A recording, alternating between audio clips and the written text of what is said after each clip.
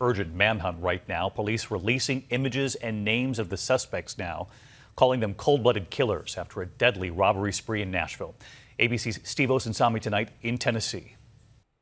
Nashville police tonight have arrested 24 year old Demontre Logsdon, who has a robbery conviction from November. And they've also arrested 24 year old LaCorey Little, who already has a felony assault conviction. At this point, police aren't saying if they're the same two men seen on surveillance video in this black Chevy sedan robbing and killing across the city. I've been in Nashville all my life. I have never gotten up every morning to see two people shot.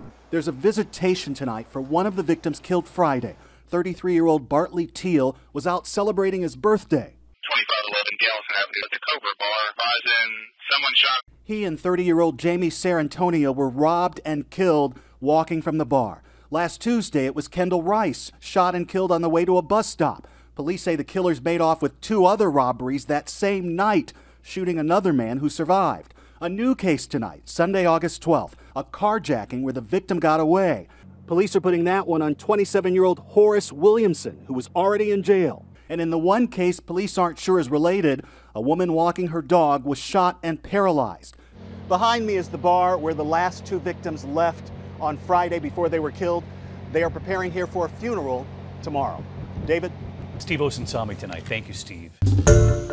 Hi, everyone. George Stephanopoulos here. Thanks for checking out the ABC News YouTube channel. If you'd like to get more videos, show highlights, and watch live event coverage, click on the right over here to subscribe to our channel. And don't forget to download the ABC News app for breaking news alerts. Thanks for watching.